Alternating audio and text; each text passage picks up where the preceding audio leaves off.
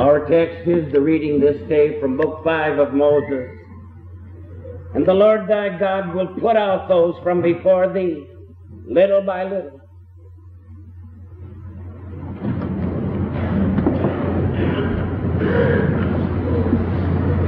It is difficult to say why Peter put the question to Jesus, Lord, we have forsaken all and followed thee.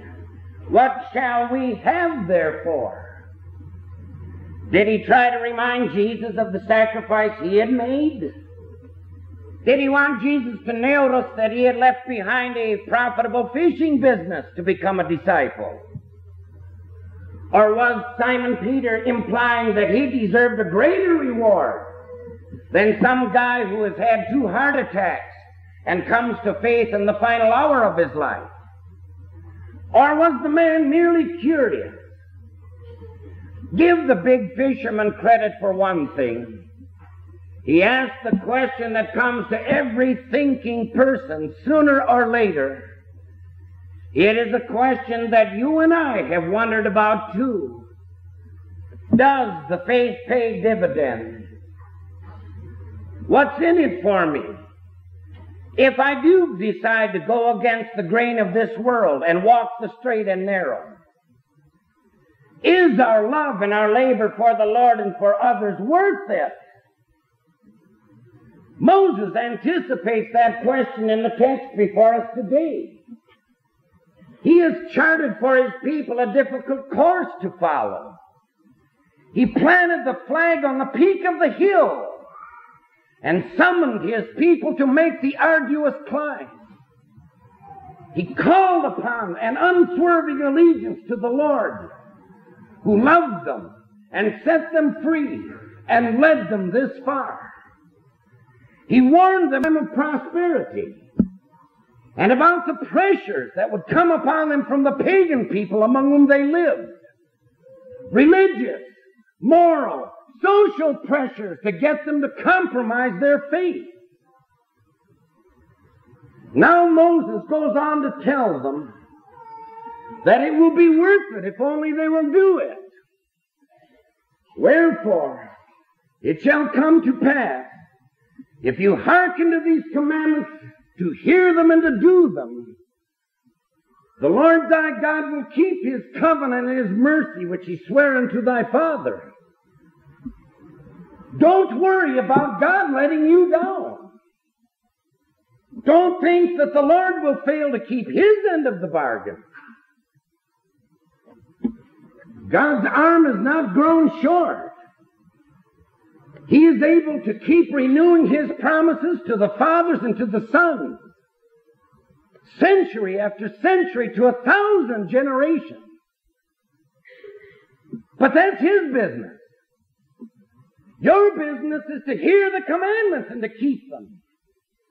To apply the word to your own heart and put it into practice in your personal life. And those of you who have committed yourselves, who have taken seriously the following of the Lord your God, Moses goes on to say, and the Lord will love thee, and bless thee, and multiply thee, and will bless the fruit of thy womb and the fruit of thy field, thy cattle on the farms, thy sheep in the fold, he will multiply thy corn and thy wine and thine oil. Just think of it. Any sacrifice you've ever done, God will repay you. He will surround your life with tokens of His loving kindness. He will crown the work of your hands with choicest blessings. He will multiply your numbers and then Multiply the supplies you need to meet those numbers. Even more. The Lord will take away from you the sicknesses and the terrible diseases which you saw given to the Egyptians. And he will lay those diseases upon them that hate thee. We can only guess what terrible diseases fell upon the Egyptians. The epidemic consequences of the ten plagues, the contamination of their drinking water, the filthy flies and the lice, the festering boils on man and beast, the crop failure and the dirt storms and the famine. It is an astonishing thing when you think of it. The blessings that the Lord promises are those which no man on earth can reproduce. We can reduce our numbers, prevent conception, but we cannot automatically increase those numbers. We can ruin our fields, pollute our rivers, cut back on our crop production, but there is no guarantee that we can improve them. We can combat disease with our pills and our potions, our antibiotics and exotic surgery, with regimens of diet and exercise, but we cannot prevent disease. We can form our life extension societies and take our life enhancement courses. But you cannot make life worth living, nor can anyone add to the three score years and ten. But God Almighty can. We cannot predict, much less control the weather. The jet stream that has given us the hot spell these past weeks. The issues of life and death are as mysterious and inexplainable today as they ever were. No governmental agency under the sun, no politician or environmental expert can guarantee you rainfall or fruitfulness of the womb or of the field, from the sky above or from the ground below, from plague or pestilence, from war or famine. But God Almighty can. He has. He will. Beautifully. The blessings He promises are not only for the favored few in this world, the high and the mighty and the wealthy and the powerful, the half-wit movie star, or oil sheik with four yachts, six sports cars, and a dozen different residences. The blessings God promises are for everyone. He lets all of you in on it. Moses realizes another question may come to mind.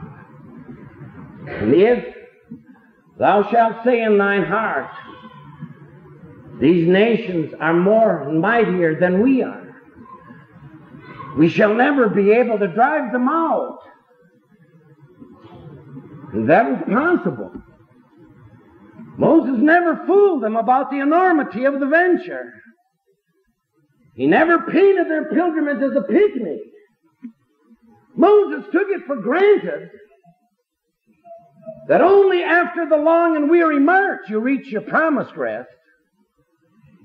Only after the battles are fought are the battles won. Only after the ground is planted and plowed can the harvest be brought home. Only after the pain and sorrow of childbirth will the laughter of a little child ever ring in your home. But are the odds against you? Are the obstacles too weightily stacked on the other side? Don't you be afraid, Moses continued. Thou shalt not be afraid of them. The remedy for your fear is faith. Remember what the Lord thy God did unto Pharaoh and Egypt. Don't you remember what you saw with your own eyes? the mighty signs and wonders, the outstretched arm and the mighty hand, and how the Lord brought you free. Don't you see? Every day of your life is to be an exodus out of Egypt, again in miniature. Look again to the same Lord. Still he sets his people free from the fear of death, from the tyranny of men, and from the oppressive bondage of sin in our lives. For the Lord thy God is among you, a mighty and a terrible God. Moses gives them no psychological pep talk, no little lecture on positive thinking or on self-confidence. Moses says your problem comes because you look too much at the odds in your life and too little to your Lord. Too much to the hostility of men and too little to the love of God. Too much to the storms that break over your little ship. And too little to the Lord, the ruler of wind and wave. Too much to the might of men. And too little to the strength of God. You're concentrating on your own weaknesses and inabilities instead of on the everlasting strength of the Lord your God. He will send the hornet among them. I'm not sure that word hornet is literal or symbolical or both. He's speaking here of insects that sting and swarm and stampede you in panic, or whether he's speaking of a psychological loss of concentration. If you've ever tried to hang a storm window with a hornet or a wasp buzzing about your ears, doggone hard to concentrate on that storm window. Moses always tells them the success of the venture is the Lord's doing. You can have your soldiers, but you won't win by military might, heroic action, or clever strategy. And nothing shows that better than the next promise in this chapter. The Lord thy God will put out the nations from before thee, little by little Israel didn't much go for that. They wanted it all at once. One gigantic campaign, victory, triumph, then ease and comfort evermore. But it is the Lord's way to give to them little by little. As a mother does with her child. As a teacher does with a slow student. Not the whole confounded book, but one lesson, one step at a time. Otherwise, the land was too large to put under the plow. Their people were too few to inhabit the place. The thorns and the thistles and the wild beasts would have gotten the jump on them. They simply couldn't have handled the promised land all at one time. And isn't that the Lord's way with us as well? Little by little, patiently, slowly, giving us time to grow, to mature, to become seasoned, to handle our blessing. Possibly we need the season of loneliness. However else would you appreciate the life's partner God places at your side? We need the agonizing struggle. However else will we handle prosperity when it comes? And those hours of an overwhelming sense of unworthiness How else will we ever take the righteousness that is from above, from God in Jesus Christ? You see it with your children. They always want the privileges without the responsibility. They want the lifestyle of the grown up without first growing up. They want to begin where their parents have left off. They want the fruit of years of labor without the years of labor. And what harm would come to them and to us if God were to give it all to us when we couldn't handle it?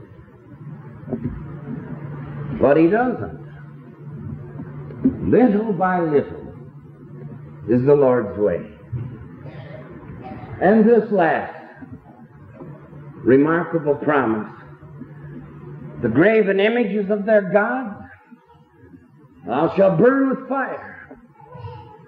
Thou shalt not desire the silver, nor covet the gold. That's the true test of allegiance.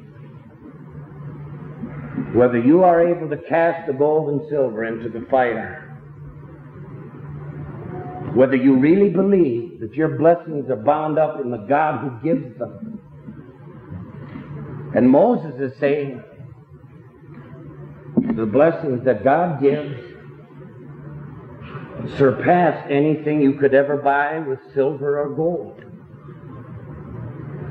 And that's what St. Paul said. God doesn't always give you what you want, but, quote, exceeding abundantly above anything you shall ask or desire. And isn't that how Jesus answered Simon Peter? Everyone that has forsaken land, or brothers, or sisters, or father, or mother, or wife, or children, or houses for my sake, I'll pay him back a hundredfold. And you shall inherit everlasting life. Amen.